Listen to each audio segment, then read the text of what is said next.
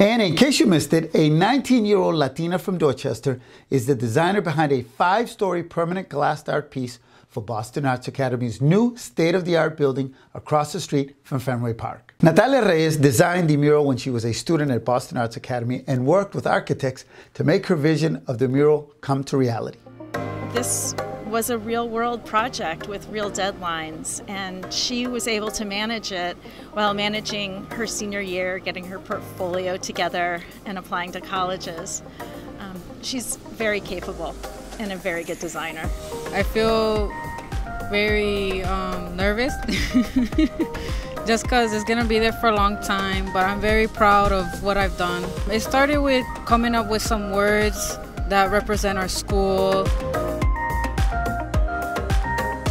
Really wanted to capture the um, the energy of the city, how it's a lot of moving people, lights. You know, there's so much energy here, and that's one of the biggest things I wanted to um, to have in this piece. There was a lot of things that inspired me.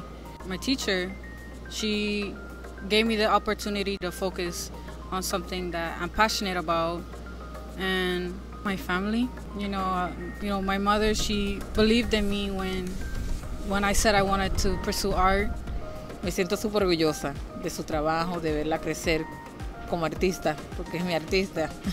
now it's alive, it's here, and I just feel like, like pinch me. Is this real?